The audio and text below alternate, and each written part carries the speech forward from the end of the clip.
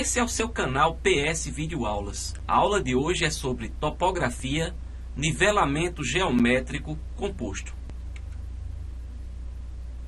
Nivelamento geométrico pode ser realizado utilizando-se uma simples mangueira de nível ou instrumentos. O mais indicado nesse caso seria o nível óptico, mas também pode ser feito com teodolito ou estação total. Equipamento auxiliar régua graduada ou mira, no caso do, da estação total seriam os prismas. Nivelamento geométrico simples e composto. Simples. Quando queremos determinar a diferença de nível entre dois pontos do terreno utilizando um único procedimento.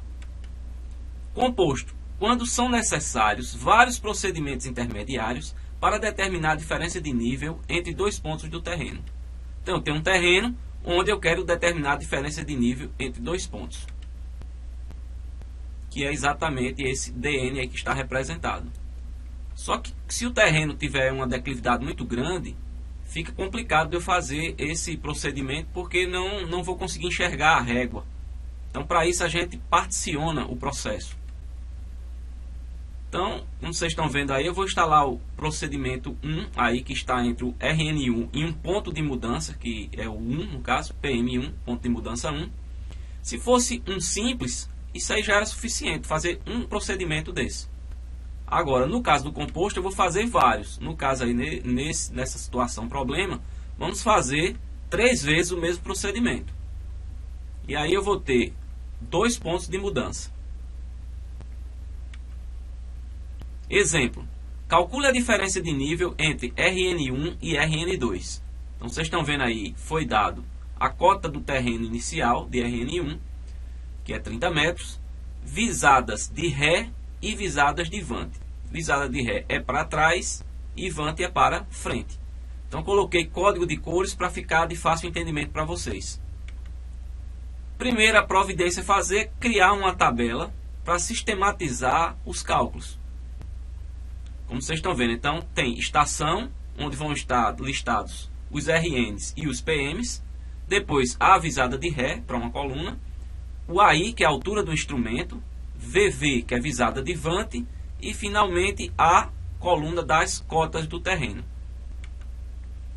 Primeira providência é identificar todas as visadas de ré e preencher corretamente a tabela.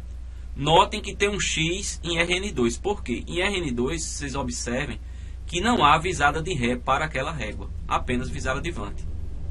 Assim como, quando eu for preencher também as visadas de vante, verifique que na primeira régua, ou mira, que está aí em RN1, você não tem visada de ré para ela. Aliás, desculpem, não tem visada de vante, apenas a visada de ré. Por isso que tem o X aí também na primeira posição. Então essas observações são muito importantes, porque se você preencher errado esse início, todas as contas que você fizer na tabela também vão ficar erradas. Depois vamos preencher a cota do terreno. Se essa cota não existir ou você quiser abstrair, você pode colocar também como sendo zero. E aí você vai ter a diferença de nível em relação àquele zero que você arbitrou. O primeiro cálculo é da altura do instrumento no primeiro procedimento, que esse cálculo é um pouco diferente para os demais pontos. Então, o AI ele vai ser igual à visada de ré atual mais a cota atual. Então, é só somar esses dois valores aí, 0,56 mais 30 metros, que dá 30,56 metros no AI. O segundo AI já vai ser a cota anterior, no caso, que já foi calculada, visada de vante atual menos visada de ré anterior menos visada de ré atual. Então, substituindo os valores, então, altura do instrumento em PM1 vai ser determinada por 30, que é a cota anterior do terreno, 1,90, que é a visada de vante atual, 0,56, que é a visada de ré anterior, e 0,40 metros, que é a visada de ré atual. Com isso, eu vou ter 29,06 metros. E o cálculo da cota? Cota atual é igual a I atual menos visada de ré atual. Então, para calcular a cota de PM1, é só eu pegar o valor que está em AI, que é 29,06, menos 0,40, que dá igual a 28,66 metros. Vamos calcular agora o segundo PM. Então, PM2, no caso a altura do instrumento, vai ser igual a 28,66, que é a cota anterior, menos, aí tudo isso entre parênteses, 2,58, que é a visada de van atual, menos 0,40, que é a visada de ré anterior, menos ainda também a visada de ré atual. Com isso, eu vou ter que a altura do instrumento em PM2 é igual a 26,77 metros. Vamos calcular agora a cota de PM2.